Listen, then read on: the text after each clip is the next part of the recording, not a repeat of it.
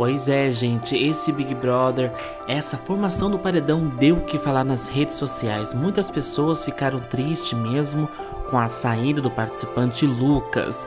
Muitas pessoas ficaram tristes com isso. Então, na, nessa formação do, do paredão, né, gente, o Thiago Leifert então deu um sermão aí, né, gente deu um puxão de orelha nos participantes, existência do participante Lucas. Muitas pessoas ficaram chocadas, mas a participante Lumena foi a que mais sentiu começou a chorar. Quero saber a opinião de vocês sobre isso.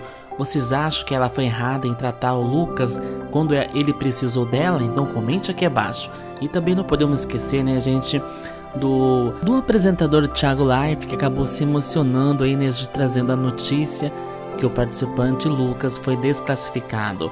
Muito triste mesmo, né, gente? Muitas pessoas queriam que ele continuasse, mas infelizmente por conta dessas duas meninas aí, a Carol Conká a Lumena, ele acabou, né, gente, desistindo. Quero saber o que você achou disso, então comente aqui abaixo. É isso aí, pessoal. E até a próxima notícia sobre Big Brother. Então é importante que vocês se inscrevam no canal e ativem o sininho.